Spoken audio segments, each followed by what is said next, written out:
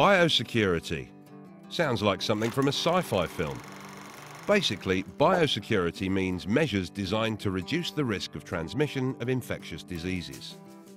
We usually think about protecting people from diseases, in hospitals for example.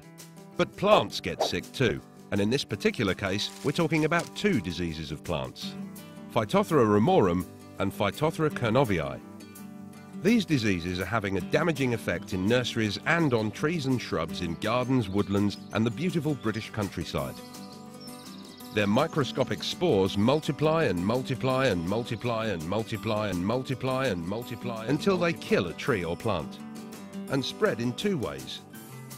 Naturally, wind, rain, mist, water, and behaviourally, moving infected plants or soil on our shoes, clothes, tools, machinery, tyres, and infect again. For instance, just one infected plant could arrive in the country from which the diseases spread to nurseries and garden centres, heritage parks and gardens, woodlands, and the countryside. Phytophthora ramorum and Phytophthora kernoviae are a serious threat to the beautiful British countryside.